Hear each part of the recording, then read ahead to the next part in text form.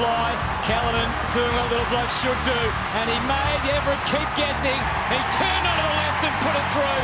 Nice response, Adelaide. Well, he is a very, very classy small forward. He kicked 40 goals last year in the AFL. He's had, he kicked hardly any this year. Have a look at him here, smart front and centre. Says, I'll go and get this. He was never going to pass it off. He's a small forward. Uh, he's on the left foot, though, but he kicks him, and that's what he does, and he does it well.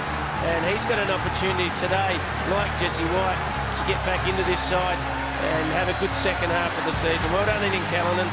Great response to centre half forward. It was angled well.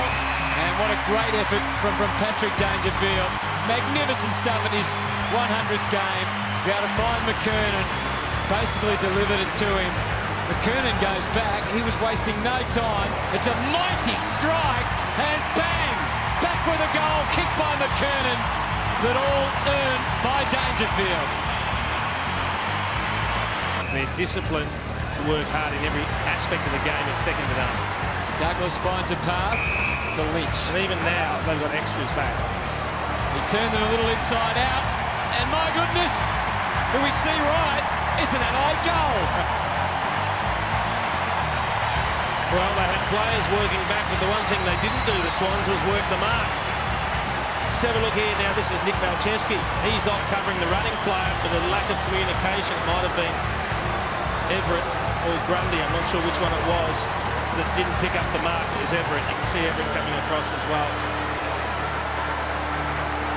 Yeah, that was just awareness by Everitt. He needed to drop off, but uh, the first goal in the second half for Adelaide, and they needed it big time. That was Lynch. Was it poor high? He was. Yeah, paid it. Rory Sloane's up to 30 disposals for the second week in a row. Bernie Vince strides into the 50. The pressure valve has been released. Well, in some ways it's been good that Adelaide have been able to kick a few goals late, but some ways it's been disappointing that Sydney have allowed them as well because up until this time they've been been the best performance I've seen by a side for a long time.